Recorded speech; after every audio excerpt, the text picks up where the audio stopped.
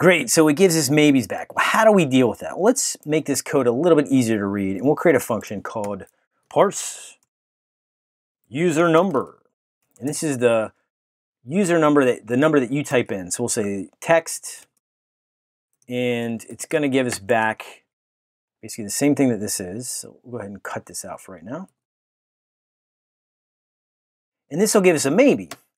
And so we'll do a let just so you can see the imperative style, the maybe.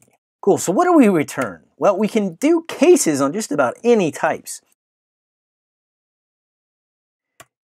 And we're casing on two things. If we get a just back, we'll get the value. And that number that we get, cool, just return the number. That means we got one, so return a one. Fantastic, this will give the number back.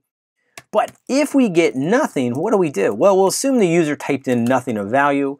And in numbers and math, nothing of value is zero. So that way they can't screw it up.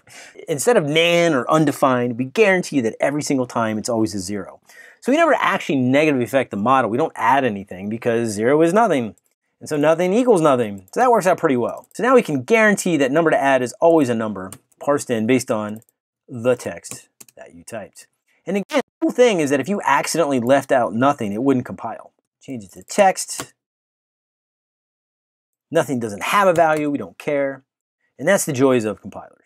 All right, so let's check out our reactor. We'll reload this, relaunch, Elm reactor.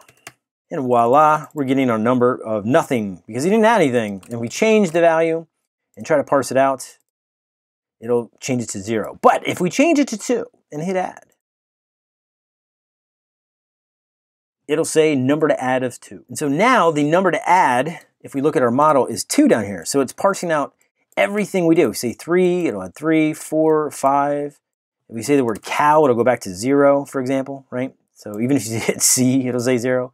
But if you type in a, valid number like 55 or 5 or 2 or whatever else, it's, it's dealing with those numbers. And so we say 22 and then hit add, you can see that number to add is 22. So it's correctly parsing our numbers now based on the text we type in. Otherwise, if you put bad data, it's parsing it as zero.